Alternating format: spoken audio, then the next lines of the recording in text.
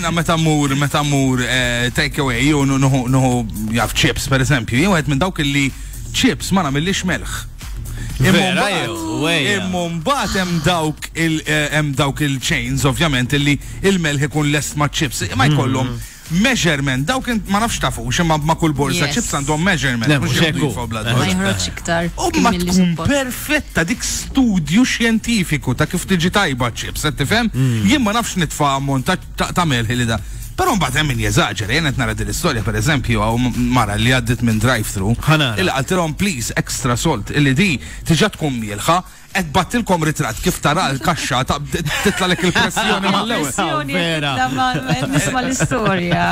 Imma I love I love, ġifieri jiena waħda minn dawk in-nies li meta jkolli l-platt quddiemi lanqas inkun għadni doqt l-ikel. Mhux suppost, eh? Jien l-istess, eh? Jiena. Hand for the salt, literally and I start putting salt on my plate. But with six pack challenge, with the six pack revolution, kelli nieqaf nagħmilha dil-biċċa. Xejn, lanqas melħ ma tistgħu tieħdu.